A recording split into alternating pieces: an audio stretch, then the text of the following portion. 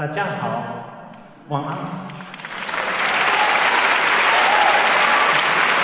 我是自我堂千太晚。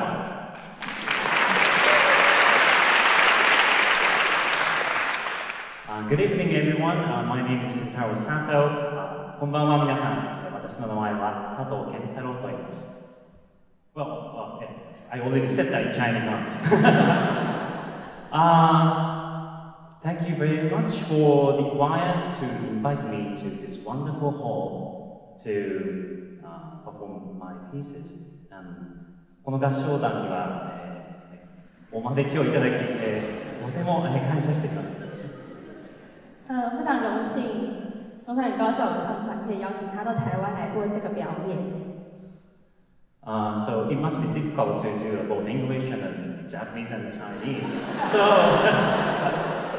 so I will use Japanese for the sake of her, and then we'll do that. Right?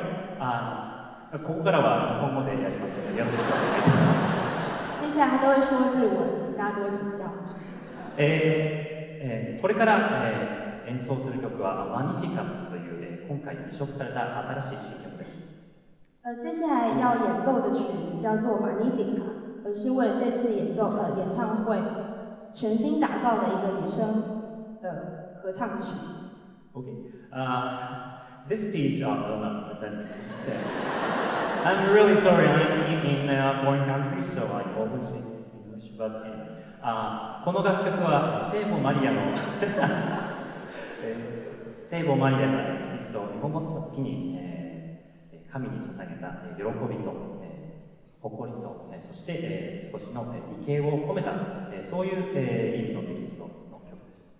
呃，这个 Magnifica 是圣母赞主曲，是圣母玛利亚知道自己怀了主耶稣基督的时候，献给上帝的一首非常欢乐的曲子。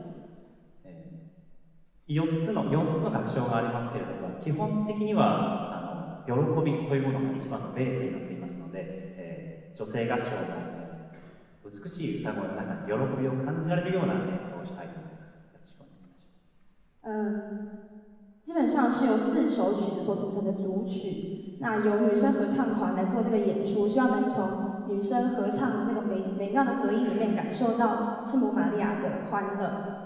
谢谢。